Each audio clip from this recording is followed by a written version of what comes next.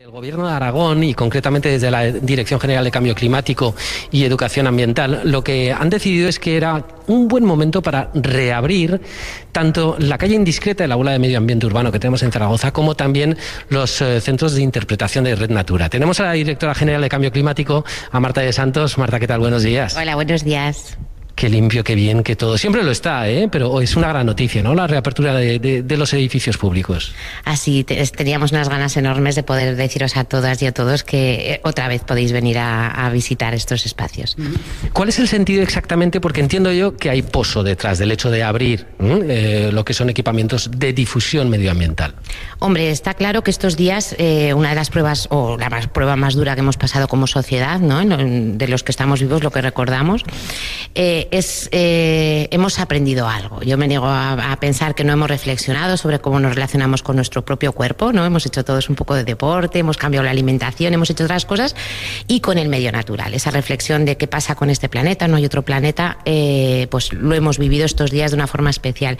Así que eh, abrir estos centros en los que lo que se hace es reflexionar mediante el juego y una experiencia positiva sobre cómo volver a, a esa nueva normalidad, pero que sea nueva, que no sea tal y como era antes porque era destructiva, sino que tengamos una mejora en nuestros hábitos, es sustancial. Pero además, como tenemos todos tantas ganas de naturaleza, de medio natural, de oír pájaros, de oír ríos, ¿no? de oír el viento, pues eh, invitamos de una forma ordenada, con todas las medidas de seguridad, a que poco a poco vayamos acercándonos a la naturaleza, en especial a esos sectores más vulnerables, porque hay que cuidar mucho, pues eso, la naturaleza, nuestra salud y nuestra salud emocional.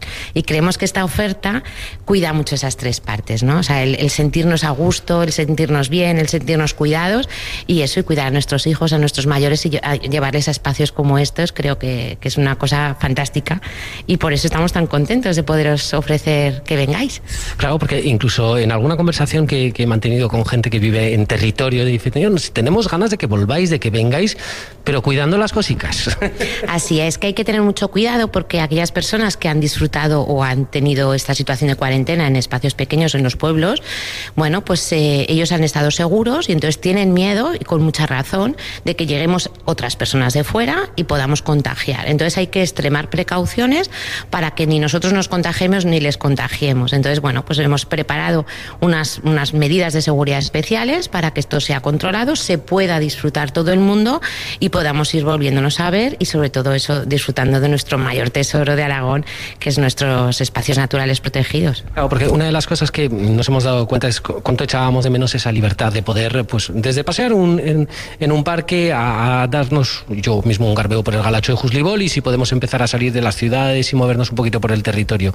¿Crees que, mm, Marta, vamos a tener una conciencia de cuidar un poquito más el entorno después de, de esta mm, experiencia o no estamos en esas todavía? Yo creo que sí, yo creo que sí. Además, eh, vamos a abandonar esos intentos de negativismo que tenemos y vamos a ser realistas. Yo estos días, cuando sales al parque, cuando sales a andar, ves un montón más de gente en bici, por ejemplo. Ha cambiado una forma de desplazarnos, porque además estamos disfrutando de cada pedalada de esa bicicleta, ¿no? Entonces sí que estoy convencida de que hemos reflexionado y que nos hemos dado cuenta de que necesitamos movernos, necesitamos relacionarnos con el medio natural y necesitamos cuerpos sanos, en mentes sanas, en espacios sanos. Entonces, Sé que la gente valora muchísimo los espacios naturales dentro de las ciudades, una de esas reflexiones que vamos a que llevamos muchos años empujando en ese urbanismo más natural y entonces bueno, estos días los hemos saboreado, hemos estrujado, ¿no? Cada árbol que teníamos cerca de nosotros y de esta misma manera, pues estos espacios naturales que tenemos en Aragón, que son joyas muchas veces desconocidas, en estos centros de educación eh, nos los van a enseñar, nos van a enseñar a verlos, ¿no? Esas cosas que tú ves intuitivamente, pues a un poco más, ¿no? Y además nos van a enseñar a cómo cuidarlos desde nuestro hogar, nuestras prácticas prácticas diarias, que es lo importante, ¿no? Nos queda lanzar un mensaje, por favor, mascarillas, guantes, plásticos y demás que estamos utilizando, eh, vamos, a, vamos a gestionar bien, ¿verdad? Esos desechos nuevos que de repente han aparecido a mansalva. Eso es, por favor. Eh, vamos a reflexionar en dos líneas. Una, tenemos que cuidarnos entre todos y entre todas. Y tenemos a unas personas que nos barren las calles, que recogen la basura y que no tienen por qué estar tocando aquellos materiales que nosotros utilizamos para protegernos del virus. Imagínate que en esa mascarilla se ha quedado el virus, si lo tiras al suelo va a tener que recogerlo otra persona. Esto no, esto no es responsable de entrada como compañeros o como personas que vivimos en la misma sociedad.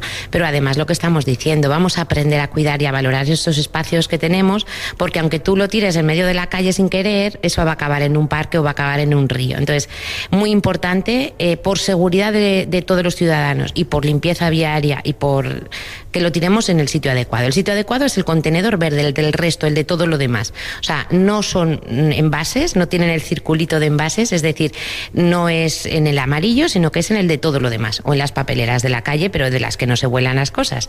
Entonces, por favor, mucho cuidado para cuidar a los que nos cuidan, a los, a los de limpieza y residuos, pero también a cuidarnos entre nosotros, no tirando, igual que no tiramos las pipas ya a estas alturas de la sociedad, pues no tiramos ni los guantes ni las mascarillas.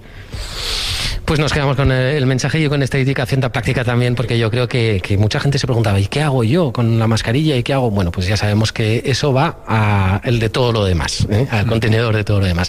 Marta de Santos, muchísimas gracias, directora general de, calidad de cambio climático y de, y, de educación ambiental. Solo una cosa, y es que la semana que viene tenemos grandes sorpresas, grandes noticias que dar, porque celebramos el Día del Medio Ambiente, el día 5, el viernes, así que a lo largo de la semana no solo os invitaremos a un montón de actividades especiales que estamos preparando en estos espacios, sino que daremos más noticias importantes, así que ya os contamos. Pues ahí, bien atentos, vamos a estar sin ninguna duda.